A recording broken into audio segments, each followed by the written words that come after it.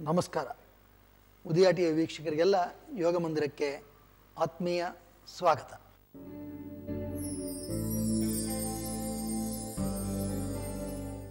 ಯೋಗ ಕೇವಲ ಒಂದು ದೈಹಿಕ ಕಸರತ್ತಲ್ಲ.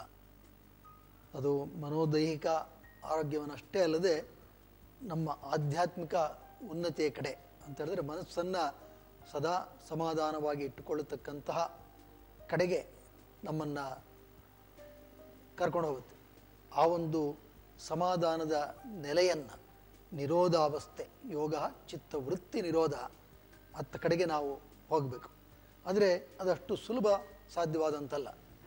ಹಾಗಾಗಿ ಮೊದಲು ಆಸನದ ಮುಖೇನ ನಾವು ನಮ್ಮೊಳಗಡೆ ಹೋಗತಕ್ಕಂಥ ಮತ್ತು ಮನಸ್ಸನ್ನು ತಾದಾತ್ಮತೆಯಿಂದ ನಿಲ್ಲಿಸ್ತಕ್ಕಂಥ ಪ್ರಯತ್ನವನ್ನು ಮಾಡ್ತಾ ಮಾಡ್ತಾ ನಂತರ ಇನ್ನು ಹೆಚ್ಚಿನ ಆಯಾಮಗಳಿಗೆ ನಾವು ಅಣಿಯಾಗಬೇಕು. ಆಸನಗಳನ್ನು ನಾವು ಆ ಒಂದು ಕೇವಲ ಒಂದು ದೈಹಿಕ ಚಲನೆ ಅಂತ ನೋಡದೆ ಮನಸ್ಸನ್ನು ಸಹ ಅಲ್ಲಿ ತಾದಾತ್ಮತೆಯಿಂದ ಹೊಂದಿಸಿ ಅದನ್ನು ಸಹ ಉನ್ನತಿ ಕಡೆಗೆ ತೆಗೆದುಕೊಂಡು ಹೋಗತಕ್ಕಂತಹ ಪ್ರಯತ್ನವನ್ನು ಮಾಡಬೇಕು.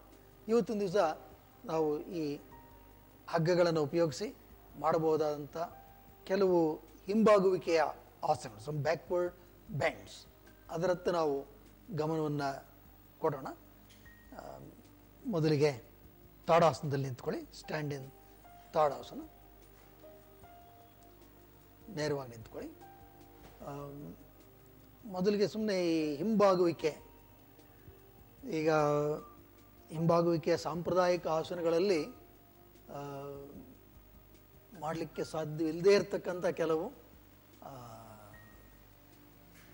ಚಲನೆಗಳನ್ನು ನಾವು ಗಮನಿಸೋಣ. ಕೈಗಳನ್ನು ಹಿಂದಕ್ಕೆ ತೆಗೆದುಕೊಂಡು ಹಗ್ಗವನ್ನು ಹಿಡ್ಕೊಳ್ಳಿ hold the ropes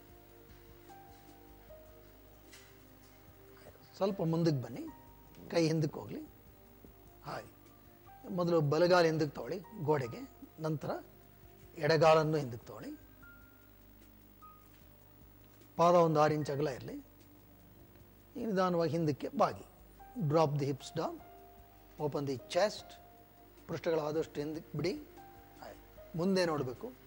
Look forward breathing relaxed bend back at ease use the weight and gravity to bend more ನಾವು ತೂಕ ಮತ್ತು ಗುರುತ್ವಾಕರ್ಷಣೆಯ ಆ, ಉಪಯೋಗಿಸ್ಕೊಂಡು ಮತ್ತಷ್ಟು ಬಗ್ಬೇಕು.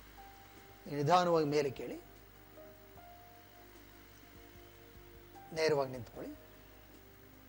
ಇದು ಒಂದು ಸುಲಭವಾದಂಥ ಹಿಂಬಾಗುವಿಕೆ ಈ ಹಿಂಬಾಗುವಿಕೆಯಲ್ಲಿ ತಾವು ಗಮನಿಸಬೇಕು, ಕೇವಲ ಹಿಂಬಾಗುವಿಕೆ ಬರೋದಷ್ಟೇ ಅಲ್ಲ, ನಮ್ಮ ಭುಜದ ಕೀಲು ಆ ಒತ್ತಡವನ್ನು ತೆಗೆದುಕೊಳ್ಳುತ್ತೆ. It takes that load bearing ಹಾಗಾಗಿ ಭುಜದ ಕೀಲಿಗೂ ಆ ಒಂದು ಹಿಮ್ಮುಖ ಚಾಚುವಿಕೆ the extension with loading along with a good hyperextension for the complete spinal column ಅದನ್ನು ನಾವಿಲ್ಲಿ ಗಮನಿಸಬೇಕು.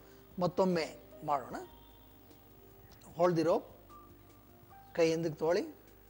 ಸ್ಲೋಲಿ ಬೆಂಡ್ ಬ್ಯಾಕ್ ಈಗ ಮೊದಲು ಬಲಗಾಲು ಎಂದಕ್ಕೆ ತೋಳಿ, ನಂತರ ಎಡಗಾಲನ್ನು ಹಿಂದಕ್ಕೆ ತೋಳಿ, ಪಾದ ಒಂದು ಆರು ಇಂಚ್ ಅಗಲ ಇರಲಿ. ನಿಧಾನವಾಗಿ ಬಾಗಬೇಕು. Drop the hips down look forward ಎದೆ ಮಧ್ಯಭಾಗ ಮೇಲಕ್ಕೆ, ಕಾಲು ನೇರ ಆಗಬೇಕು, ಕೈ ನೇರ ಇರಬೇಕು. Keep the arm straight so this simple backward bend drop the hips as much as possible ಕಾಲು ನೇರ ಇಟ್ಕೊಂಡು ಪೃಷ್ಠಗಳನ್ನು ಸಾಧ್ಯವಾದಷ್ಟು ಕೆಳಕ್ಕೆ ಬಿಡಬೇಕು. ನಿಧಾನವಾಗಿ ಮೇಲೆ ಕೇಳಿ. ನೇರವಾಗಿ ನಿಂತ್ಕೊಳ್ಳಿ.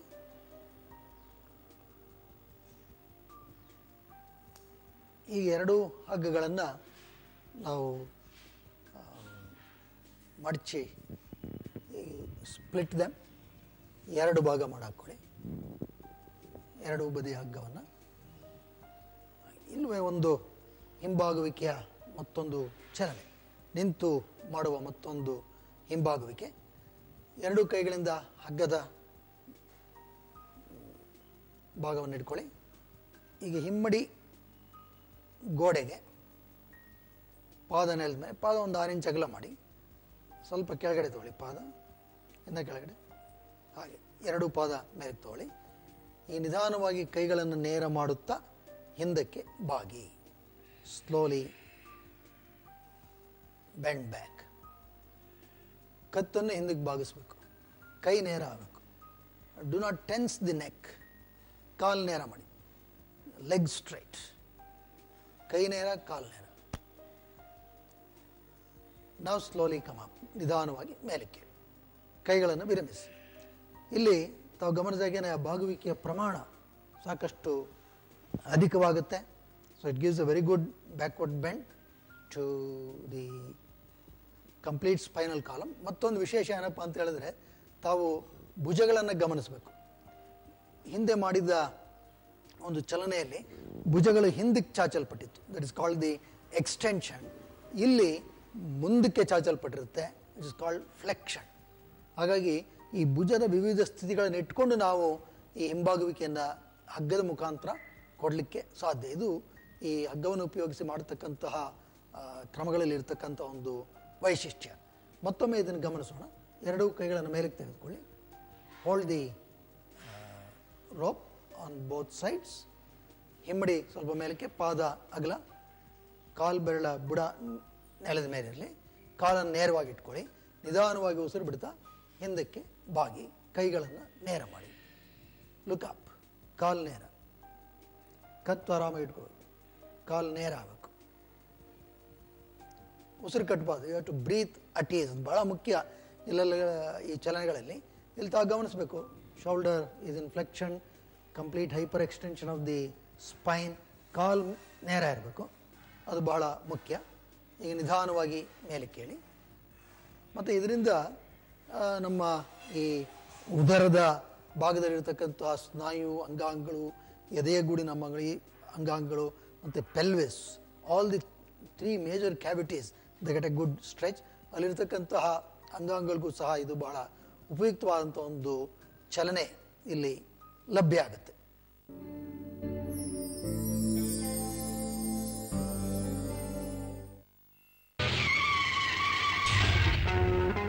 ಮಧ್ಯೆ ಬೇರೆ ಯಾರು ಬಂದ್ರು? ನಾನ್ ಸುಮ್ನಿರಲ್ಲ. ನಾನು ಉಷಾ ತಪ್ಪು ಮಾಡ್ಬಿಟ್ವಿ. ನೋಡೋದಿಕ್ಕೆ ನನ್ನ ಹತ್ರ ಬಂದು ಮಲ್ಕೊಳ್ಳೋದಿಕ್ಕೆ. ಇಂದು ಮಧ್ಯಾಹ್ನ ಎರಡು ಗಂಟೆಗೆ ಸೂಪರ್ ಹಿಟ್ ಚಲನಚಿತ್ರ ಮನೆ ದೇವರು ನಿಮ್ಮ ಉದಯ ಟಿವಿಯಲ್ಲಿ.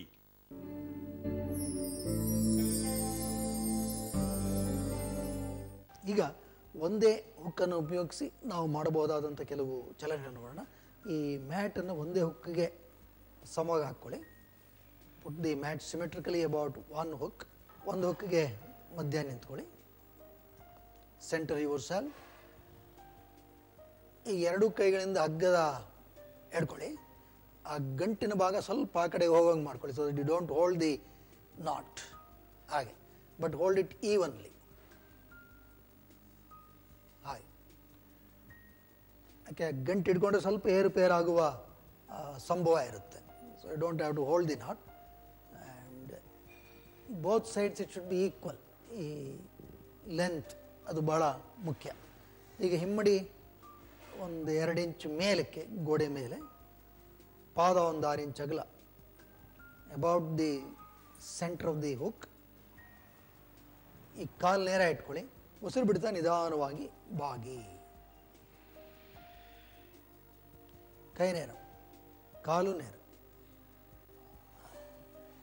ಇಲ್ಲಿ ಒಂದೇ ಹುಕ್ಕನ್ನು ಇಟ್ಕೊಂಡಿರೋದ್ರಿಂದ ಆ ಚಾಚುವಿಕೆಯ ಅನುಭವ ಮತ್ತಷ್ಟು ತೀಕ್ಷ್ಣವಾಗಿರುತ್ತೆ. ಈ ಹೆಗಲಲುಬುಗಳು ಮತ್ತು ಭುಜಾಸ್ತಿ ವಲಯ ಇವೆಲ್ಲ ಭಾಳ ಹತ್ತಿರ ಬರುತ್ತೆ. ಈ ನಿಧಾನವಾಗಿ ಮೇಲಕ್ಕೆ ಕೈಗಳನ್ನು ವಿರಮಿಸಿ. ಈ ಒಂದು ಹಿಂಬಾಗುವಿಕೆ ಬೆನ್ನುಗಂಬದ ಇಡೀ ಆ ಒಂದು ಭಾಗಗಳು ಯಾವುದು? ಕೋಗೆಲು, ಪವಿತ್ರಲು ಕಾಕ್ಸೆಕ್ಸ್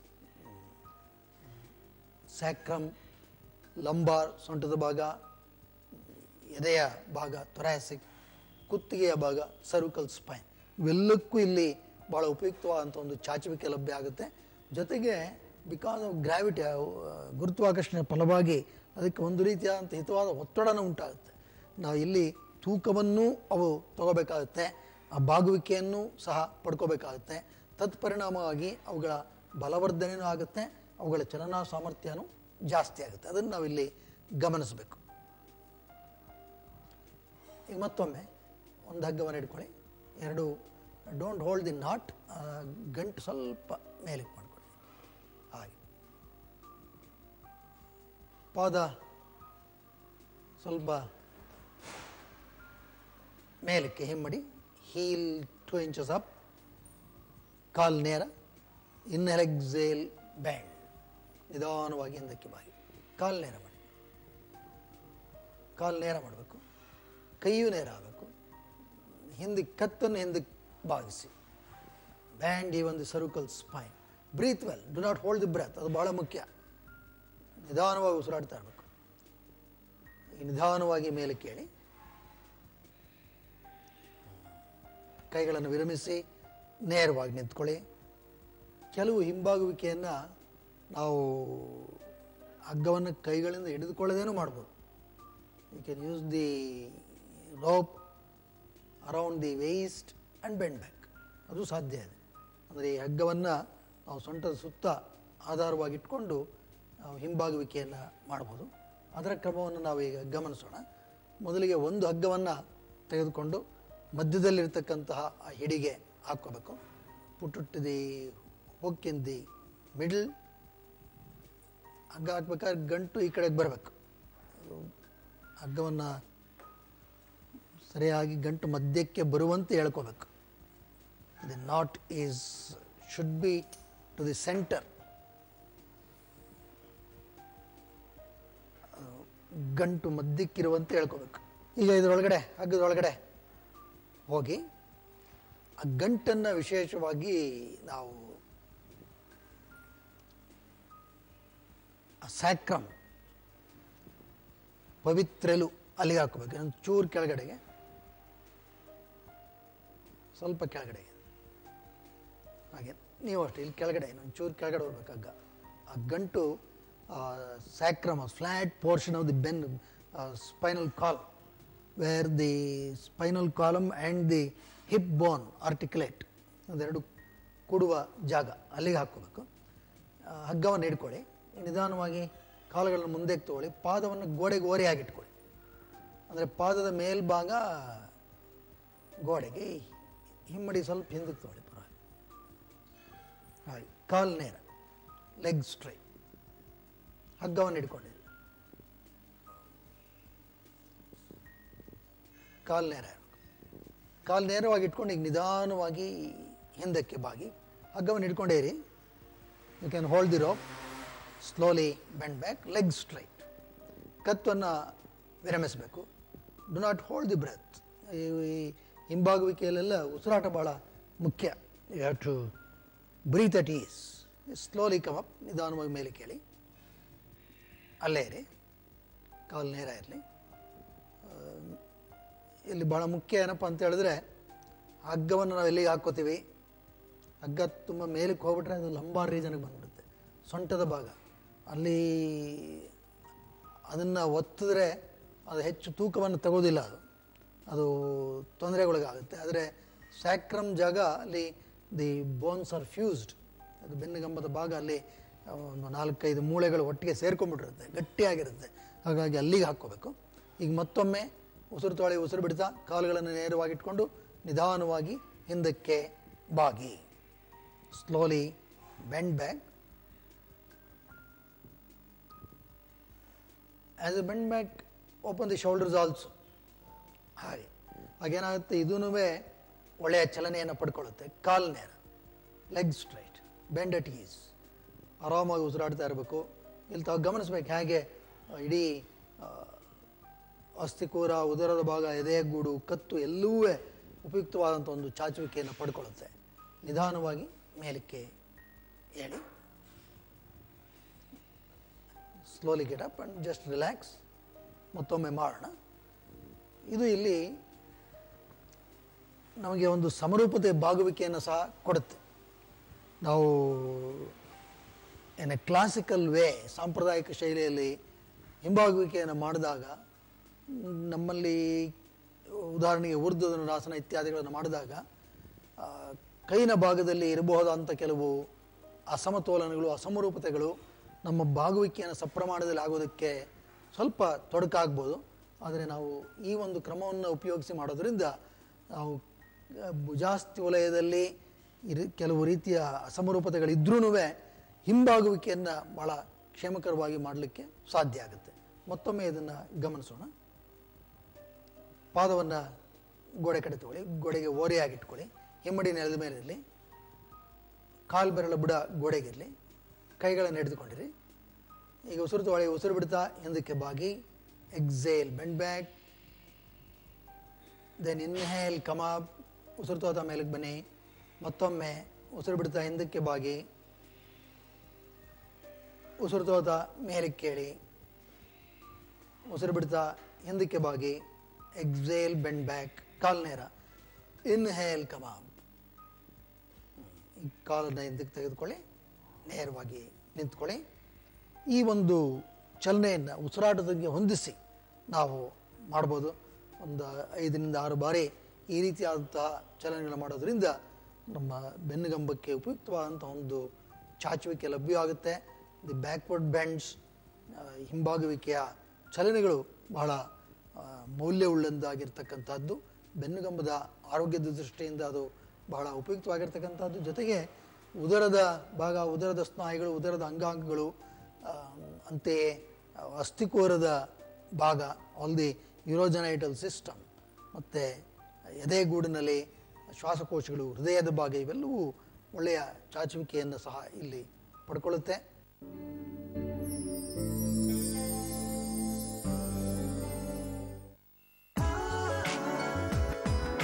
Udaya premiere movie.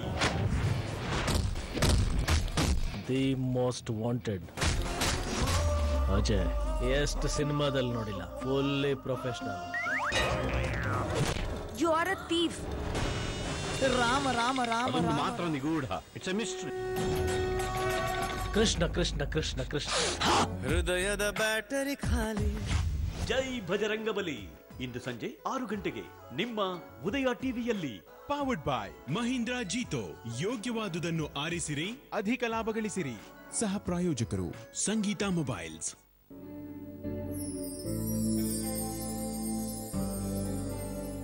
ಈಗ ಇದರಲ್ಲಿ ಒಂದು ಮಾರ್ಪಾಟು ಸ್ಮಾಲ್ ಮಾಡಿಫಿಕೇಶನ್ ಅದರಿಂದ ಇನ್ನೂ ಹೆಚ್ಚಿನ ಒಂದು ಚಾಚುವಿಕೆಯನ್ನು ಪಡ್ಕೋಬೋದು. ಅದನ್ನು ನಾವು ಗಮನಿಸೋಣ. ಈಗ ನಿಧಾನವಾಗಿ ಕಾಲುಗಳನ್ನು ಮುಂದಕ್ಕೆ ತೆಗೆದುಕೊಳ್ಳಿ. ಪಾದ ಒಂದು ಆರು ಇಂಚಗಲ ಕಾಲು ನೇರ. ಮೊದಲಿಗೆ ನಿಧಾನವಾಗಿ ಹಿಂದಕ್ಕೆ ಬಾಗಿ ಸ್ಲೋಲಿ ಬೆಂಡ್ ಬ್ಯಾಕ್ ಕಾಲು ನೇರ ಇಟ್ಕೊಳ್ಳಿ. ಈಗ ಕೈಗಳನ್ನು ಸಹ ಚಾಚಿ ಮೇಲಕ್ಕೆ ಹಾಗೆ ಕಾಲು ನೇರ. ಕೈಗಳು ನೇರ. ಸ್ಟ್ರೆಚ್ ಬೋತ್ ಆರ್ಮ್ಸ್ ಕಾಲು ನೇರ ಇರಬೇಕು. ಈ ಕೈಗಳನ್ನು ಮೇಲಕ್ಕೆ ತೆಗೆದುಕೊಳ್ಳಿ. Hold the rope then slowly come up ನಿಧಾನವಾಗಿ ಮೇಲೆ ಕೇಳಿ. ಬಂದ್ಬಿಡಿ. ಸ್ಟ್ಯಾಂಡ್ ಅಪ್ ರೈಟ್ ಇದನ್ನು ಮತ್ತೊಮ್ಮೆ ಮಾಡೋಣ. ಇಲ್ಲಿ ಕೈಗಳನ್ನು ಚಾಚಿದಾಗ ಏನಾಗುತ್ತೆ? ಆ ಕೈಗಳ ತೂಕ ಸಹ ಗುರುತ್ವಾಕರ್ಷಣೆ ಅಡಿಯಲ್ಲಿ ಮತ್ತಷ್ಟು ಬಾಗುವಿಕೆಯನ್ನು ನಮ್ಮ ದೇಹದ ಮೇಲ್ಭಾಗಕ್ಕೆ ಕೊಡುತ್ತೆ. It gives a better enhanced stretch ಕಾಲುಗಳನ್ನು ಮುಂದಕ್ಕೆ ತೆಗೆದುಕೊಳ್ಳಿ. Always ensure that the knot is to the base of the spine ಅದು ಭಾಳ ಮುಖ್ಯ.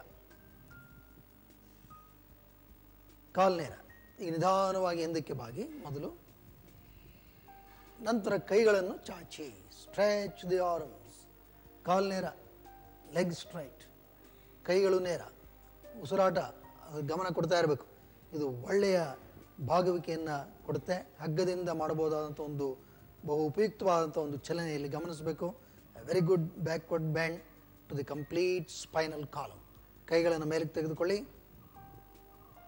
ಹಗ್ಗವನ್ನು ಇಟ್ಕೊಳ್ಳಿ. ನಿಧಾನವಾಗಿ ಮೇಲಕ್ಕೆ ಬನ್ನಿ. ನೇರವಾಗಿ ನಿಂತ್ಕೊಳ್ಳಿ. ಸ್ಟ್ಯಾಂಡ್ ಅಪ್ರೈಟ್ ಈ ಹಿಂಭಾಗುವಿಕೆ ಆಸನಗಳನ್ನು ಮಾಡಬೇಕಾದ್ರೆಲ್ಲ ನಾವು ಉಸಿರು ಕಟ್ಟಬಾರ್ದು. ಹಾಗೇನಾಗ್ಬಿಡುತ್ತೆ? ಮೇಲಕ್ಕೆ ಎದ್ದ ತಕ್ಷಣ ಸ್ವಲ್ಪ ತಲೆ ತಿರುಗಿದ ಹಾಗೆ ಇದೆಲ್ಲ ಆಗುತ್ತೆ. ಹಾಗಾಗಿ ಉಸಿರಾಟದ ಬಗ್ಗೆ ಗಮನ ಕೊಡಬೇಕು. ಅದಕ್ಕೆ ಈ ಭಾಗವಿಕೆಯನ್ನೆಲ್ಲ ನಾವು ಕ್ರಮಕ್ರಮವಾಗಿ ಅಭ್ಯಾಸ ಮಾಡ್ತಾ ಹೋಗ್ಬೇಕು. ಏಕಾಏಕಿ ನಾವು ಇಷ್ಟು ಬಗ್ಬಿಟ್ರೆ ಅನಪೇಕ್ಷಿತವಾದಂಥ ಒತ್ತಡ ಉಂಟಾಗುತ್ತೆ. ಒತ್ತಡ ಉಂಟಾದಾಗ ನಾವು ಮಾಡಿದ್ರೆ ಕೆಲವು ಅನ್ಯ ಪರಿಣಾಮಗಳು ಎದುರಿಸ್ಬೇಕಾಗ್ಬೋದು. ಅದಕ್ಕೇನೆ ಸಿಸ್ಟಮಟೈಸ್ಡ್ ಅಪ್ರೋಚ್ ನಾವು ಮೊದಲು ತೋರಿಸಿದಂಥ ಕೆಲವು ಸುಲಭ ಸಾಧ್ಯವಾದಂಥ ಹಿಂಬಾಗುವಿಕೆಯನ್ನು ಮಾಡಿಕೊಂಡು ನಂತರ ಇದನ್ನು ಮಾಡ್ತಕ್ಕಂಥದ್ದು ಇಲ್ಲಿ ಬಹಳ ಅಪೇಕ್ಷಣೀಯ. ಈಗ ಮತ್ತೊಮ್ಮೆ ಇದನ್ನ ಮಾಡೋಣ. ಕಾಲುಗಳನ್ನು ಮುಂದಕ್ಕೆ ತೆಗೆದುಕೊಳ್ಳಿ. ಕಾಲು ನೇರ. ಈ ಕೈಗಳೆರಡನ್ನು ಮೇಲಕ್ಕೆ ಚಾಚಿ. ಸ್ಟ್ರೆಚ್ ಬೋದ. ನಾವು ಇನ್ಹೆಲ್ ಎಕ್ಸೇಲ್ ಬೆಂಡ್ ಬ್ಯಾಕ್ ನಿಧಾನವಾಗಿ ಉಸಿರು ಬಿಡ್ತಾ ಹಿಂದಕ್ಕೆ ಬಾಗಿ. ಕೈ ನೇರ. ಅಂದರೆ ಹೀಗೆ ಹಗ್ಗವನ್ನು ಇಟ್ಕೊಳ್ಳೋದು ಹೀಗೆ ಮಾಡ್ಬೋದು. ಈಗ ಇನ್ಹೇಲ್ ಅಪ್ ಕೈ ನೇರವಾಗಿ ಇಟ್ಕೊಂಡೆ, ಮೇಲೆ ಕೇಳಿ. ಹಗ್ಗ ಇಟ್ಕೊಳ್ಳಿ ಹಗ್ಗ ಇಟ್ಕೊಳ್ಳಿ ಜಸ್ಟ್ ಬಿ ದೇ ಅಲ್ಲೇ ಜಸ್ಟ್ ಬಿ ರಿಲ್ಯಾಕ್ಸ್ಡ್ ಹಗ್ಗವನ್ನು ಇಟ್ಕೊಂಡು. ಇದರಿಂದ ಏನು ಉಪಯುಕ್ತತೆ ಅನ್ನೋದನ್ನು ನಾವು ಗಮನಿಸಬೇಕು. ಇಲ್ಲಿ ಬಹುದೊಡ್ಡ ಉಪಯುಕ್ತತೆ ಏನಪ್ಪ ಅಂತ ಹೇಳಿದ್ರೆ when you bend back without the support and when you come up ನಾವು ಮೊದಲು ಏನು ಮಾಡ್ತೀವಿ? ಹಗ್ಗವನ್ನು ಇಟ್ಕೊಂಡು ಮೇಲೆ ಕೇಳ್ತಿದ್ವಿ. ಆಗ the loading on the spinal muscle special lower back ಅಷ್ಟಿರೋದಿಲ್ಲ. ಆದರೆ ಈಗ ಏನಾಗುತ್ತೆ ಅಂತ ಹೇಳಿದ್ರೆ ಬೆನ್ನುಗಂಬದ ಭಾಗ ಮತ್ತು ಈ ಉದರದ ಭಾಗ, ಇದಕ್ಕೆ ಇದು ಬಲವನ್ನು ಕೊಡುತ್ತೆ. ನಾವು ಹೇಳಬೇಕು ಅಂತ ಹೇಳಿದ್ರೆ ಬೆನ್ನುಗಂಬದ ಸ್ನಾಯುಗಳು, ಉದರದ ಸ್ನಾಯುಗಳು ಅವುಗಳಲ್ಲಿ ಬಲ ಇರಬೇಕು. ಹಾಗಾಗಿ ನಾವು ಹಿಂದಕ್ಕೆ ಬಗ್ಗಿ ಆಮೇಲೆ ಕೈಯನ್ನು ಮೇಲಕ್ಕೆ ತಗೋದಕ್ಕೂ ಕೈಯನ್ನು ಮೇಲೆ ತೊಗೊಂಡು ಹಗ್ಗವನ್ನು ಹಿಡಿದುಕೊಂಡು ಮೇಲೆ ಕೇಳೋದಕ್ಕೂ ಇಲ್ಲಿಂದಾನೇ ಮಾಡೋದಕ್ಕೂ ಬಹಳ ವ್ಯತ್ಯಾಸಗಳಿದೆ. ಅದನ್ನು ನಾವು ಅರ್ಥಕೋಬೇಕು ಮೊದಲು ಅದು ಸಾಧ್ಯವಾದ ಮೇಲೆ ಈ ಕ್ರಮವನ್ನು ನಾವು ಅಳವಡಿಸ್ಕೊಳ್ತಕ್ಕಂಥದ್ದು ಬಹಳ ಮುಖ್ಯ. ಈ ಕಾಲು ನೇರ ಇಟ್ಕೊಳ್ಳಿ, ಮತ್ತೊಮ್ಮೆ ಗಮನಿಸೋಣ. ಕೈ ನೇರ ಮಾಡಿ arm stretched inhale exhale bend back ಕೈ ಹಾಗೆ ನಿಧಾನಕ್ಕೆ ಮೇಲಕ್ಕೆ ಹೋಗ್ಬೇಕು. ಕಾಲು ನೇರ ಆಗಬೇಕು. ಕೀಪ್ ದಿ ಲೆಗ್ ಸ್ಟ್ರೈಟ್ ಕಾಲು ನೇರ ಇಟ್ಕೊಂಡು ಪೂರ ಬಾಗುವಿಕೆಯನ್ನು ಗಮನಿಸಿ. ನಾವು ಇನ್ಹೇಲ್ ಕಮಾಪ್ ಉಸಿರು ತೋತ ಮೇಲಕ್ಕೆ ಬನ್ನಿ. ಕೈಗಳ ಸಮೇತ you to lift yourself from the back ಮತ್ತೊಮ್ಮೆ ಇನ್ನರ್ ಎಕ್ಸೇಲ್ ಬೆಂಡ್ ಬ್ಯಾಕ್ ಉಸಿರು ತೋತ ಮೇಲಕ್ಕೆ ಬನ್ನಿ. ಇನ್ನೊಮ್ಮೆ ಮಾಡೋಣ. ಇನ್ನರ್ ಎಕ್ಸೇಲ್ ಬೆಂಡ್ ಬ್ಯಾಕ್ ಕಾಲ್ ನೇರ ಇನ್ಹೇಲ್ ಕಮಾಪ್ ಕಾಲನ್ನು ಮುಂದಕ್ಕೆ ತೋಳೆ just be relaxed you can come out of the rope ಇದು ಒಂದು ಬಹಳ ಉಪಯುಕ್ತವಾದಂಥ ಒಂದು ಚಲನೆ ಬೆನ್ನುಗಂಬಕ್ಕೆ ಇದು ಕೇವಲ ಬಾಗುವಿಕೆಯನ್ನಷ್ಟೇ ಅಲ್ಲದೇ ಆ ಶಕ್ತಿಯನ್ನು ಉಂಟು ಮಾಡುತ್ತೆ ಯಾಕೆಂದ್ರೆ ಬೆನ್ನುಗಂಬ ಆರೋಗ್ಯದ ದೃಷ್ಟಿಯಲ್ಲಿ ಕೇವಲ ಚಲನಾ ಸಾಮರ್ಥ್ಯ ಹೊಂದಿದ್ರೂ ಸಾಲದು. ಅದಕ್ಕೆ ಬಲವೂ ಬೇಕಾಗುತ್ತೆ. It also needs lot of strength ಆ ಕಾರಣದಿಂದ ಇದು ಬಹಳ ಮುಖ್ಯ. ವಜ್ರಾಸನದಲ್ಲಿ ಕೂತ್ಕೊಳ್ಳಿ. ಹಾಗೆ ನೇರವಾಗಿ ಕೂತ್ಕೊಳ್ಳಿ.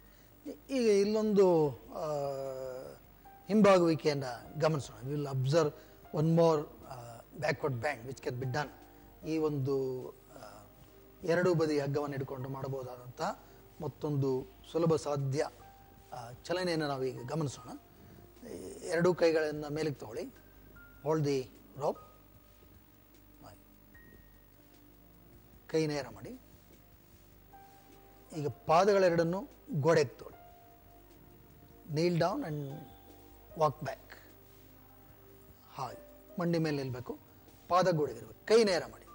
Arm straight and ensure that you are to the centre this always very important ಹಗ್ಗದಲ್ಲಿ ಏನೇ ಮಾಡಬೇಕಾದ್ರೂ ಈ ಸಮರೂಪತೆ the symmetry is the key ಅಲ್ಲಿ ನಾವು ಎಸಿಮೆಟ್ರಿ ಕೊಟ್ಬಿಟ್ರೆ ಒಂದು ಕಡೆ ಜಾಸ್ತಿ, ಒಂದು ಕಡೆ ಕಮ್ಮಿ ಎಳೆಯುತ್ತೆ. ಅಸಿಮೆಟ್ರಿ ಅಲ್ಲೂ ಇರಬಾರ್ದು, ಹಗ್ಗದಲ್ಲೂ ಇರಬಾರ್ದು ಹುಕ್ಕಲ್ಲೂ ಇರಬಾರ್ದು. ನಾವು ತೆಗೆದುಕೊಳ್ಳುವ ಒಂದು ಸ್ಥಿತಿ ಅಲ್ಲೂ ಸಮರೂಪತೆ ಇರಬಾರ್ದು. ಇದು ಹಾಗಾಗಿ ಇಲ್ಲೆಲ್ಲ ಎಚ್ಚರವನ್ನು ವಹಿಸಿ ಮಾಡಿದ್ರೆ ಇದರಿಂದ ಉತ್ತಮವಾದಂತಹ ಪರಿಣಾಮವನ್ನು ನಾವು ಕಾಣಲಿಕ್ಕೆ ಸಾಧ್ಯ ಆಗುತ್ತೆ. ಈಗ ನಿಧಾನವಾಗಿ ಉಸಿರನ್ನು ಬಿಡುತ್ತಾ ಹಿಂದಕ್ಕೆ ಬಾಗಿ. ನಿಧಾನವಾಗಿ ಬಿಡಬೇಕು. ನೋ ಜರ್ಕ್ಸ್ ಕೈ ನೇರ ಹಿಂದಕ್ಕೆ ಬಾಗಿ. ಸೊ ತಾವೆಲ್ಲಿ ಗಮನಿಸಬೇಕು ಹೇಗೆ ಒಂದು ಬಾಗುವಿಕೆ ಉಂಟಾಗುತ್ತೆ. How you can see the bending right all the way from the pelvis abdomen chest ಎಲ್ಲವೂ ಒಳ್ಳೆಯ ಚಾಚುವಿಕೆಯನ್ನು ಪಡ್ಕೊಳ್ಳುತ್ತೆ. ನಿಧಾನವಾಗಿ ಮೇಲೆ ಕೇಳಿ ವಿರಮಿಸಿ ಜಸ್ಟ್ ಸಿಟ್ ಇನ್ ವಜ್ರಾಸನ, ಇನ್ನೊಮ್ಮೆ ಮಾಡೋಣ. ಜಸ್ಟ್ ಒನ್ ಮೋರ್ ಟೈಮ್ ಇಲ್ಲಿ ತಾವು ಗಮನಿಸಬೇಕು it is also shoulder flexion ನಾವು ಇಲ್ಲಿ ಗಮನಿಸಬೇಕು. This backward bending plus flexion of the shoulders ಭುಜದ ಮುಂಚಾಚುವಿಕೆ ಮತ್ತು ಇಡೀ ಬೆನ್ನುಗಂಬದ ಹಿಂಬಾಗುವಿಕೆ ಹೈಪರ್ ಎಕ್ಸ್ಟೆನ್ಷನ್ ಮತ್ತೊಮ್ಮೆ, ಹಗ್ಗವನ್ನು ಇಟ್ಕೊಳ್ಳಿ ನೀಲ್ ಡೌನ್ ಮಂಡಿ ಮೇಲೆ ಕೂತ್ಕೊಳ್ಳಿ, ಪಾದವನ್ನು ಗೋಡೆಗೆ ತಗೊಳ್ಳಿ. ನಿಧಾನವಾಗಿ ಹಿಂದಕ್ಕೆ ಬಾಗಿ ಕೈ ನೇರ ಮಾಡ್ತಾ ಬರಬೇಕು. ಪೃಷ್ಠಗಳನ್ನು ಸಾಧ್ಯವಾದಷ್ಟು ಕೆಳಗೆ ತಗೋಬೇಕು. ಕತ್ತನ್ನು ಸಹ ಬಾಗಿಸಿ ವಾಚ್ ಯುವರ್ ಬ್ರೀದಿಂಗ್ ಉಸಿರಾಟವನ್ನು ಗಮನಿಸಿ. ಯಾವುದೇ ಕಾರಣಕ್ಕೂ ಉಸಿರನ್ನು ಹಿಡಿಬಾರ್ದು. Do not hold the breath always relax the breath more you relax the more you can bend ನಾವು ಹೆಚ್ಚು ಉಸಿರನ್ನು ವಿರಮಿಸಿದಟ್ಟು ಇನ್ನೂ ಹೆಚ್ಚು ಬಾಗ್ಬೋದು, ಇನ್ನೂ ಹೆಚ್ಚು ಸಮಯ ಆಸನದಲ್ಲಿ ಇರಲಿಕ್ಕೂ ಸಾಧ್ಯ. ನಿಧಾನಕ್ಕೆ ಮೇಲೆ ಕೇಳಿ. ಮತ್ತು ಈ ಥರದ ಆಸನಗಳಲ್ಲಿ ಸ್ವಲ್ಪ ಕಾಲ ವಿರಮಿಸ್ತಕ್ಕಂಥದ್ದು, ಸುಮಾರು ಮೂವತ್ತರಿಂದ ಅರವತ್ತು ಸೆಕೆಂಡ್ಗಳಷ್ಟು ಕಾಲ ವಿರಮಿಸ್ತಕ್ಕಂಥದ್ದು ಬಹಳ ಮುಖ್ಯ. ಯಾಕೆ ಅಂತ ಹೇಳಿದ್ರೆ, ಇಲ್ಲಿ ಚಲನೆ ಮತ್ತು ಆ ಒಂದು ಬಲ ಎರಡನ್ನೂ ವೃದ್ಧಿಸ್ತಕ್ಕಂತಹ ಒಂದು ಕ್ರಮ ಇದಾಗಿದೆ. ಹಾಗಾಗಿ ಅದಕ್ಕೆ ಸಂಬಂಧಪಟ್ಟಂಥ ಸ್ನಾಯು ವರ್ಗ ಅವುಗಳು ಹೊಂದಾಣಿಕೆ ಮಾಡಿಕೊಳ್ಳೋದಕ್ಕೆ ಒಂದಷ್ಟು ಸಮಯ ಬೇಕು. For them to respond to our action it take some time ಅದಕ್ಕೆ ಸಮಯ ಇರ್ತಕ್ಕಂಥದ್ದು ಬಹಳ ಮುಖ್ಯ. ಆ ರೀತಿಯಾಗಿ ನಾವು ನಿಧಾನವಾಗಿ ಈ ಹಗ್ಗಗಳನ್ನು ಉಪಯೋಗಿಸ್ಕೊಂಡು ಮಾಡಿದ್ದೇ ಆದರೆ ನಮ್ಮ ಬೆನ್ನುಗಂಬಕ್ಕೆ ಉಪಯುಕ್ತವಾದಂಥ ಬಲವನ್ನು, ಚಲನೆಯನ್ನು ಕೊಟ್ಟು ಅದನ್ನು ಸಾಕಷ್ಟು ಆರೋಗ್ಯವಾಗಿ ಕಾಪಾಡಿಕೊಳ್ಳೋದಕ್ಕೆ ಸಾಧ್ಯ ಆಗುತ್ತೆ. ನಮಸ್ಕಾರ.